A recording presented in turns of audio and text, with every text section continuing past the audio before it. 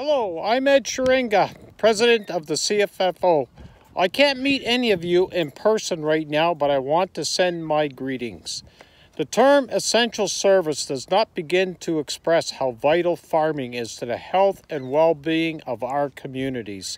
And this is a moment when none of us are taking our food for granted. Now, let me share a little bit about the work CFFO is doing on your behalf. Firstly, we have been following the issues surrounding temporary foreign workers very closely, and we have been working with other stakeholders to communicate concerns to governments so that farm businesses can run as safely as possible.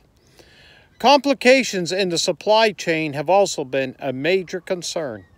And we are urging government to support local abattoirs and others in the processing industry.